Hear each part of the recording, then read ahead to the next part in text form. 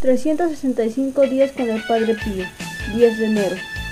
Las tinieblas que rodean el cielo de vuestras almas son luz, y hacéis bien en que no. Veis nada y que os encontráis en medio de una salsa ardiendo. La salsa arde, el aire se llena de densas nubes. El espíritu no ve ni comprende nada, pero Dios habla y está presente en el alma que siente, comprende, ama y tiembla. Hijitas mías, animaos, no esperéis al tambor para ver a Dios. Yo lo ya lo contempláis en el Sinaí. Pienso que el vuestro no es el estómago interior, revuelto e incapaz de gustar el, el bien. Él ya no puede apetecer más que el bien sumo en sí mismo, y no ya en sus dones.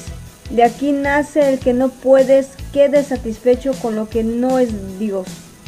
El conocimiento de nuestra dignidad y deformidad interior es una luz purísima de la divinidad, que pone a vuestra consideración tanto vuestro ser como vuestra capacidad de cometer sin su gracia cualquier delito.